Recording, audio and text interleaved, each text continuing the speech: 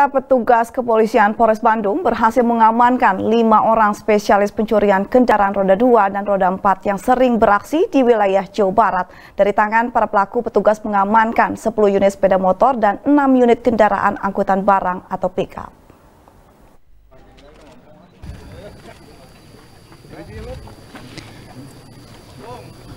Tampil dengan kepala pelontos, lima orang spesialis pelaku pencurian kendaraan roda 2 dan roda 4 hanya bisa tertunduk malu saat digiring petugas kepolisian di halaman Mapolres Bandung.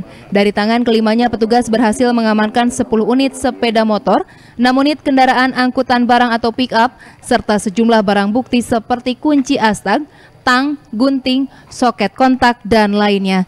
Menurut petugas, kelima pelaku tersebut sering melancarkan aksinya hampir di seluruh wilayah di Jawa Barat.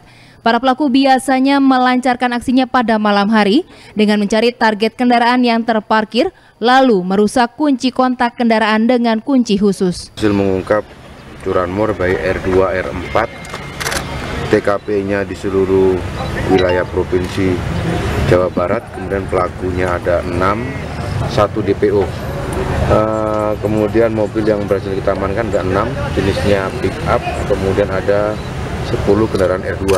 Kelompok ini spesialis R2 maupun uh, R4. Jadi memang ada yang dari kelompoknya ada yang spesialis dia melakukan R2, pelaku juga ada yang spesialis R4. Kemudian modusnya mereka rata-rata malam hari ketika rumah sepi mobil atau motor di pinggir jalan mereka masuk.